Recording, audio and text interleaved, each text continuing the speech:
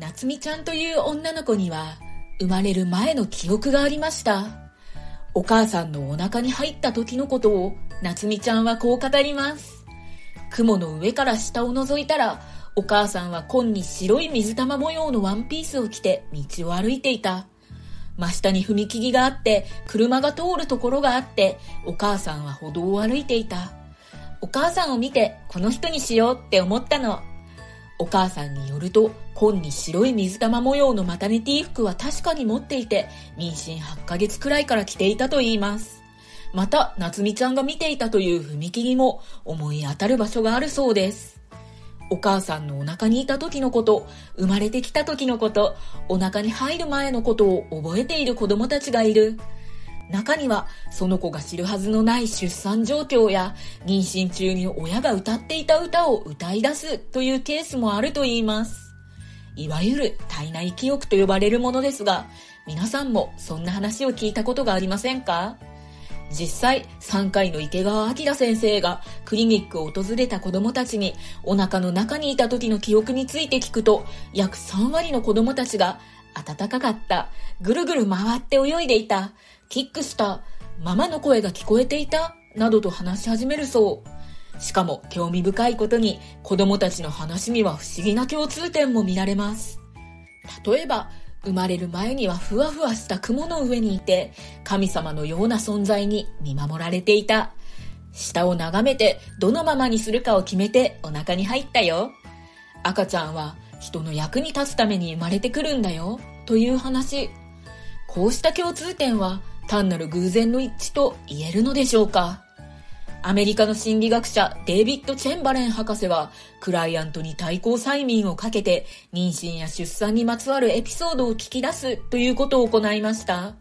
その後、母と子の両方に聞き取り調査を行い、それぞれの記憶と事実を照合したところ、母子の記憶は完全に一致しなかったとしても、生まれた時間、場所、分娩の方法、その場にいた人、使われた医療器具などの記憶に9割以上の一致点があることが分かりました。しかも、そこには本人でなければ知り得ない状況まで含まれていました。また、子供たちの中には前世の記憶を持つ子もいます。前世研究の学者たちは子供たちが過去生として語る場所を訪れて当てはまる人物が本当にいたかどうかを調べ子供の証言と一致するか確認する調査を行っています。中には事実との驚くべき一致が見られるケースもあり、それは生まれ変わりが実在するという論拠になっています。不思議で面白い生まれる前の記憶。今回はそんなお話をご紹介します。私はどうして何のために生まれてきたの？生きる意味を知りたい。どうして人生ってこんなに辛いの？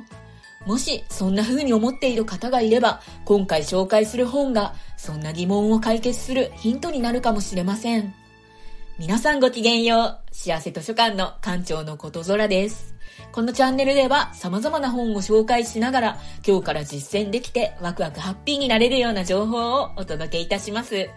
今回紹介する本は池川明さん、体内記憶が教えてくれた、この世に生まれてきた大切な理由です。3回である池川先生は体内記憶領域の第一人者としてこれまで数々の研究論文、書籍の執筆を行ってきました。1989年には横浜市にクリニックを開設。現在は YouTube や様々なメディアを通じて体内記憶に関する情報を発信されています。本書ではそんな池川先生が体内記憶を持つ15人の子供たちの証言を交えながら私たちの人生について心温かいメッセージを届けてくれています。では早速内容を見ていきましょう。1、子供たちが語った驚きの真実。2、自分を選んで生まれてくる。3、生まれる前から家族の絆がある。4、人の役に立つために生まれてくる。5神様との約束が守れなかったら1子供たちが語った驚きの真実。池川先生が体内記憶の存在を知ったのは1999年のこと。きっかけは対抗催眠に関する本を読んだことでした。対抗催眠によってお母さんのお腹の中にいた時のことを語り出す人がいることを知ったのです。これは池川先生にとって衝撃的な話でした。さらに先生は驚きの事実を知ります。クリニックのスタッフに体内記憶って知ってる？と尋ねてみたところ、知ってますよ。うちの孫には記憶があります。という返答があっさりと返ってきたのです。そのお孫さんは誕生の時の様子を次のように作文に書いていました。僕がお母さんのお腹にいる時に包丁が刺さってきて白い服を着たメガネの人に足をつかまれてお尻を叩かれました。お母さんの袋から出た時パンと音がして怖くて泣いていると今度は口にゴムを通してきて苦しかったので泣いてしまいました。お母さんは夢でしょ？と言っていますが僕は違うと思います。話を聞くとそのお子さんは逆子だったため帝王切開で生まれたそうです。生まれたばかりの赤ちゃんは感覚も知性もほぼない。そう習ってきた池川先生はこの話を聞いて本当にびっくりしました。お母さんと赤ちゃんの生命を守るためにこれまでお産に全力を尽くしてきましたが赤ちゃんの気持ちを十分に考えてきたかと改めて問われると100%の自信はありませんでした。赤ちゃんたちの顔を思い浮かべてあの子たち全部覚えていたのかな？と思うと冷や汗が出る思いだったそうです。以来池川先生はクリニックを検診で訪れる親子に生まれる前の記憶について尋ねるようになりました。2001年にはその調査結果をまとめて全国保健医団体連合会で発表。その内容が全国紙で紹介されると驚くほどの反響が寄せられ私には記憶がありますという大人からの声も多数寄せられたそうです。また2002年から3年に保育園に通う親子3601組を対象に実施したアンケートでは体内記憶があると答えた子が33%誕生の時の記憶があると答えた子は21%いました。つまり3人に1人の子供に体内記憶5人に1人の子供に誕生記憶があるということです。親が子供に質問したことがない子供が幼くてまだ話せないというケースもあるので実際に覚えている子はもっと多い可能性もあります。さて生まれる前の記憶を総称して体内記憶と呼びますが大きく分けると体内記憶受精記憶雲の上の記憶過去性記憶の4つに分けられるようです。体内記憶というのはお母さんのお腹の中にいた時の記憶。受精記憶というのは精子や卵子だった時の記憶です。お腹の中にいた頃どころか精子や卵子としての記憶があるなんて驚きますが受精の様子指は後からできてくることなど子供たちの語ることは全て医学的事実と一致しており一般の大人でも知らないことを小さな子供が正確に描写していることには池川先生も驚いたそうです。3つ目の雲の上の記憶というのはお腹に宿る前の記憶です。興味深いことに多くの子供たちが生まれる前にいた場所を雲の上のような心地よいところと表現しているそうです。子供たちによるとそこでは神様のような存在に守られてのんびりと過ごしていたそうです。4つ目の過去性記憶というのはいわゆる前世の記憶ですね。池川先生は生まれる前の記憶を調査するうち過去性の記憶があるお子さんにも出会うようになりました。例えばゆかちゃんという女の子は沖縄戦で亡くなった過去性を持っています。ゆかちゃんはお母さんと沖縄戦を舞台にした映画を涙を流しながら見ていた時に不意に「お母さん私思い出したよ」と語り出したそうです。当時ゆかちゃんは同じお母さんの娘に生まれ戦火の中を逃げ惑っていました。そして誰かが銃剣でゆかちゃんを刺そうとしたのをお母さんが身を投げ出してかばい亡くなったのです。その後ゆかちゃんは男の子として生まれ変わりましたがその時は交通事故で亡くなりました。事故が起きたのは小学校3年生の時で青い習字バッグを持って大きい横断歩道を渡っていたとゆかちゃんは池川先生にイラストで説明してくれたそうです。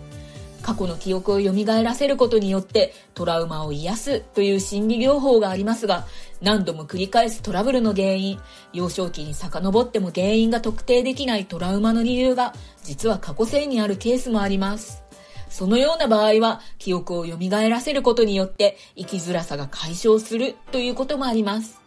このように過去性の記憶にアクセスすることはトラウマを癒すことがあるのですが、それだけではなく、人は肉体に限定された存在ではないという安心を得ることにもつながります。そのような意味では過去性や生まれる前の記憶の存在を知ることは肉体を超えて存在する魂を確信し不安や虚しさから解放されることにもつながっていくしその結果私たちは生きる喜びを今まで以上に深く味わえるようになるかもしれません。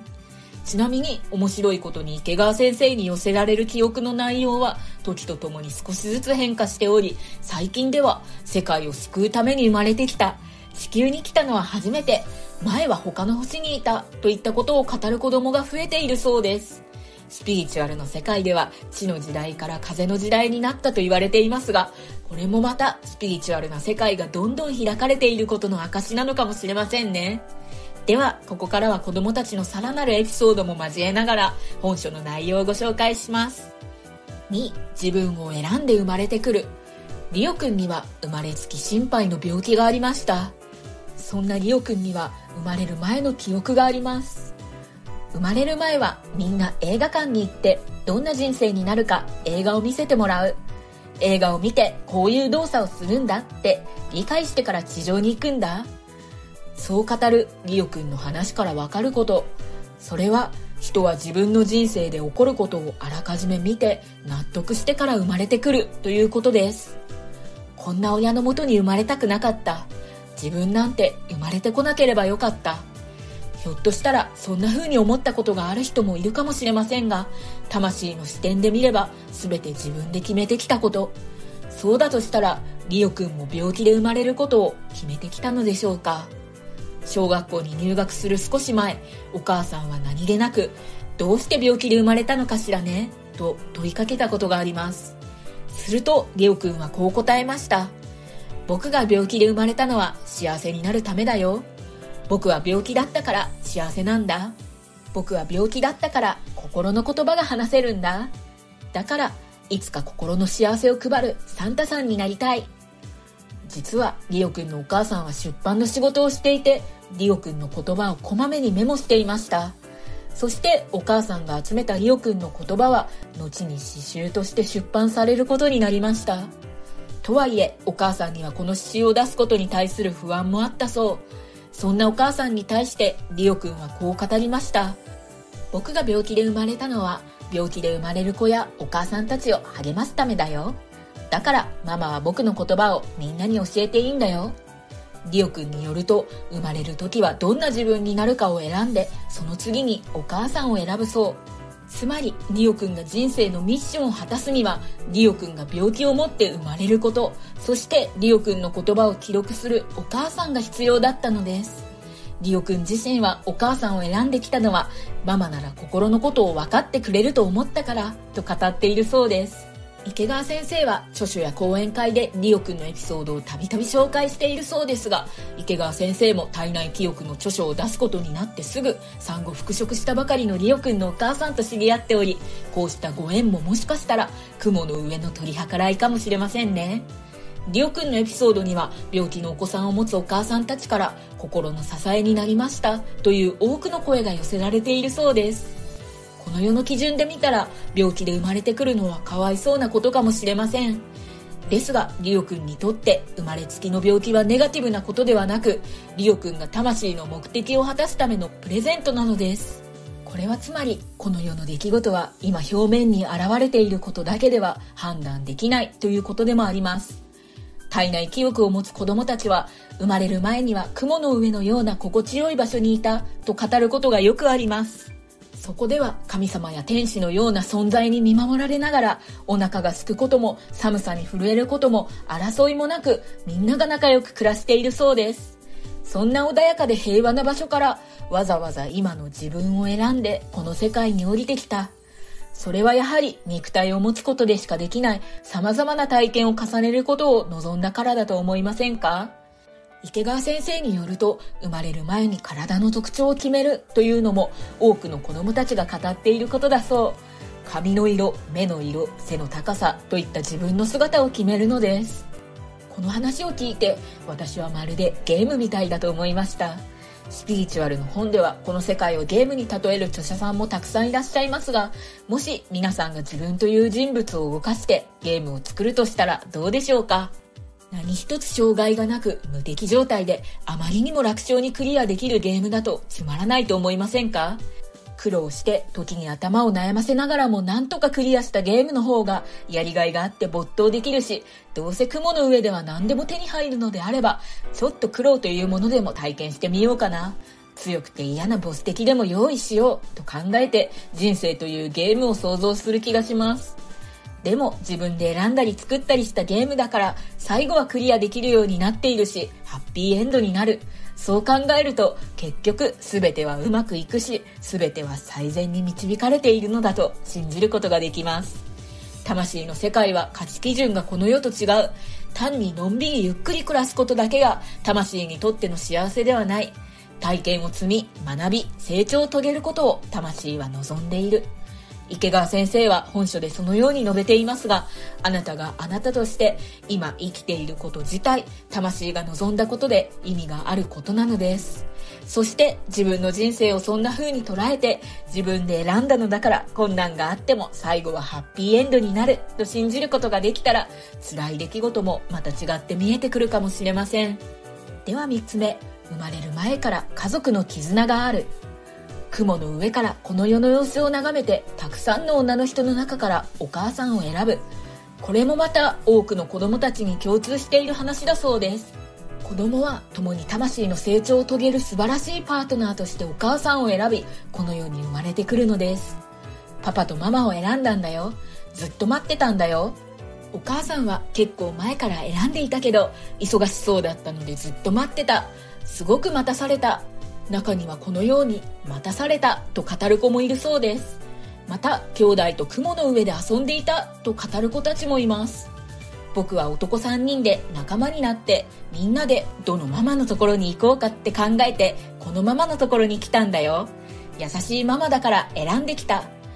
空の上から2人で一緒にお母さんを見ていたよ。僕が先に行くねと言って生まれてきたんだ。このように生まれる前の記憶が残っている子の中にはこれから生まれてくる兄弟の性別や人数を当てる子もいます。すごく仲の良い兄弟がいる方兄弟との縁が深い方はもしかしたら雲の上でもつながりがあったのかもしれませんね。ところで親を選んで生まれてくるのであれば虐待される子はどうなのかという疑問が湧いてくるかもしれません。ですがその場合もそうと分かってそれでもその親のもとを選んでくるそうです。お母さんがそれ以上の犯罪を重ねないため命の尊さを教えるため生まれる前の記憶を持つ子たちはそう語っています。もちろん虐待されるために親を選んだとは池川先生も言っていません。しかしそのような状況にある母親を助けるためにその親を幸せにするためにあえてそのような環境を選んでいる場合もあるのです。親の役に立つというのは親に幸せな思いを運ぶことだけではありません。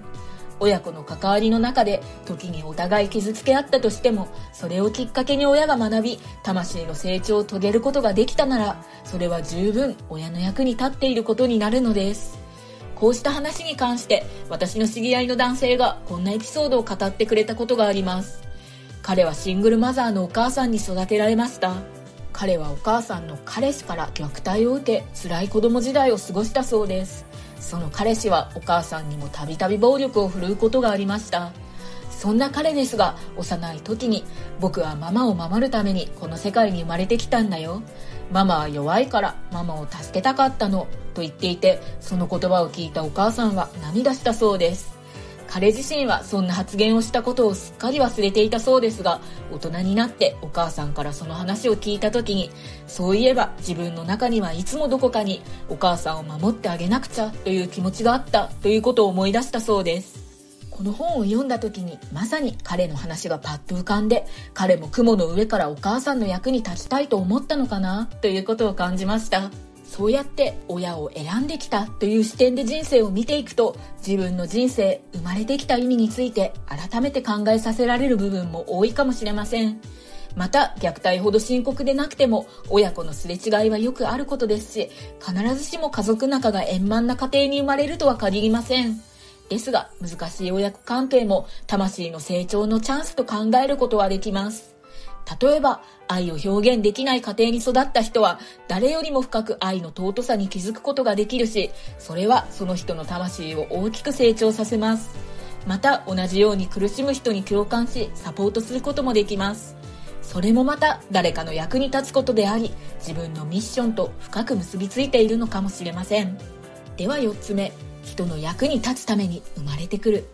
人の役に立つために生まれてくる。これも体内記憶を持つ多くの子供たちが共通して語っていることです。どうやら魂が成長を遂げるためには人の役に立つというミッションが与えられるようなのです。池川先生は子供たちの話を聞くうちに生まれてくるミッションは大きく2つに分けられることに気づきました。1つ目は親、特にお母さんの役に立つこと。2つ目が自分の人生のテーマを追求することです。赤ちゃんが最初に役に立ちたいのはお母さんやお父さん。お母さんが寂しそうだったから笑ってほしかった。楽しい家族にしたかったから生まれてきた。そのような願いを持って子供たちは親を選び生まれてくるのです。中にはママとパパを仲良くさせるために生まれてくる子もいるそうです。池川先生の体感では早いうちから自分の人生の具体的なテーマを自覚しているお子さんはそれほど多くないそう。多くは8歳から9歳くらいの間に親の役に立つというステップを卒業して自分の人生のミッションというステップに進むようです。人生のミッション子供たちはそれを神様の約束と語ることがあります。どうやら生まれる前には神様と約束をしてこの世に降りてくるようなのです。有人君という男の子はこの世に生まれることを決めたら神様と2つの約束をすると語っています。一つは人の役に立つことをすること。もう一つは自分が楽しむということです自分のためだけに生きるわけでもなくだからといって誰かのために自分の喜びを犠牲にするのでもない。自分も人も幸せにするバランスの取れた生き方。これがこの世を生きる上での神様との約束と聞くとなるほどなぁと考えさせられますが皆さんはいかがですか？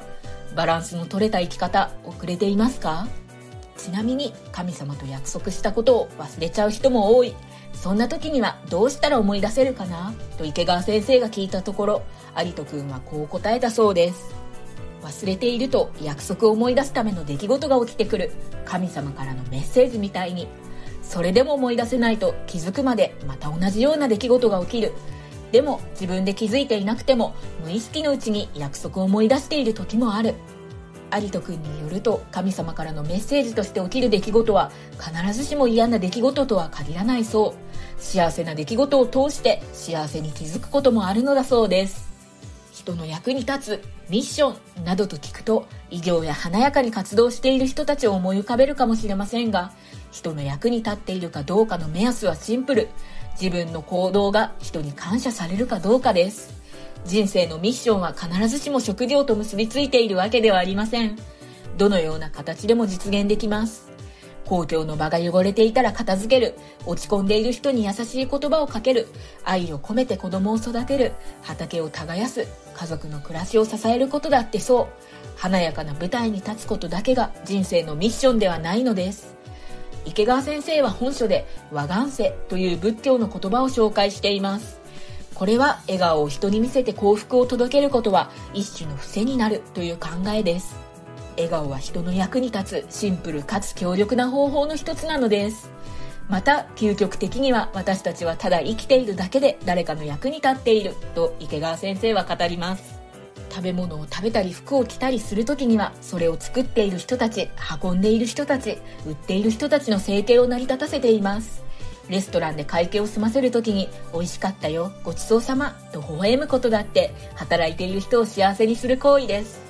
私たちはあらゆる人々とつながっていて目に見えないところでも誰かの役に立っているものです。人の役に立つにはこんな自分にならなければいけないとか何かを達成しなければならないと思う必要もありません。あなたが生きていること自体に意味がある。そのことを自覚し、その中でささやかであっても感謝してもらえることをする。笑顔を投げかける。感謝を伝える。そんなことを日々の中でも心がけていきたいですね。では5つ目。神様との約束が守れなかったら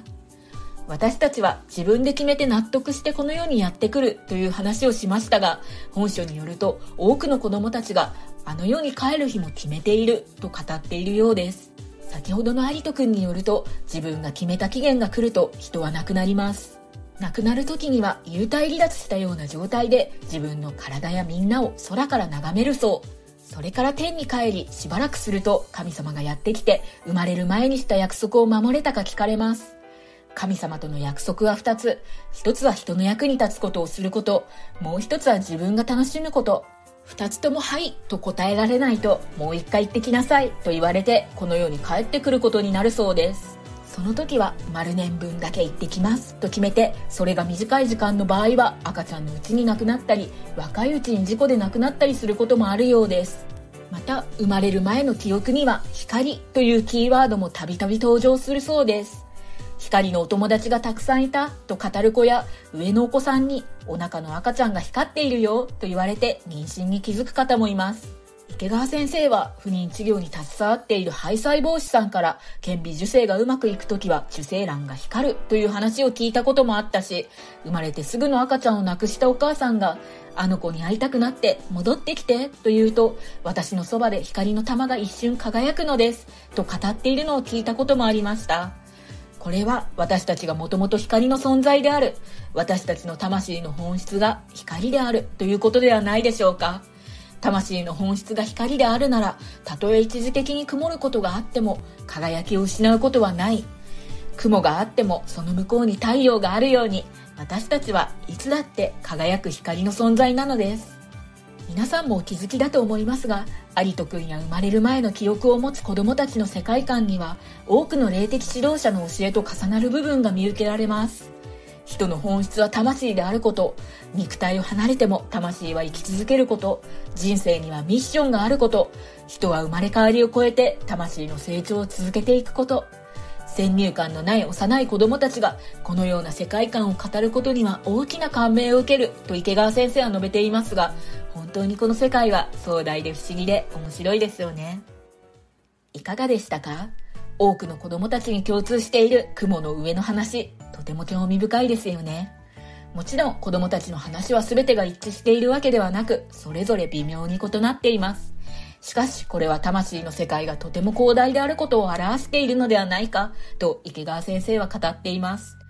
例えるなら、宇宙人が地球を旅して砂漠の真ん中で地球は砂だらけだと言ったり、大海原を眺めて一面水しかないと言ったりする違いでしかないのです。ですが、実際は砂だらけでもなければ水しかないわけでもないように、どちらが正しいか考えるのはあまり意味がありません。私たちはたった一つの真理があると考えたくなるし、自分の信じる教えと異なる価値観を受け付けず、魂の世界はこうなっている、こうあるべきだ、と説明したがる人もいます。ですが、生まれる前の記憶は狭い枠に閉じ込めるべきものではないと池川先生が言うように、私たちの生きる世界は私たちの頭で考える枠組みをはるかに超えた広大なものなのかもしれません。当チャンネルでも様々なスピーチュアル本を紹介しています。やはりそこでも共通している部分があったり、異なる部分があったりしますが、そうやってこの世界を様々な視点から眺めてみることは面白いし、この広大で不思議な世界をこれからも視聴者の皆さんと一緒に探求して知見を広げていけると嬉しく思います。また何度も繰り返して魂の世界の情報にアクセスできるように先日過去動画の再生リストも作成しました。ぜひご活用ください。それでは今回は以上となります。今後も今日から使えるワクワクするような情報を発信していきたいと思うので、このチャンネルが良かったと思った方は、LIKE ボタンやチャンネル登録をしてもらえると励みになります。それでは皆さん、今日も素敵な一日をお過ごしください。愛を込めて、ことぞらより。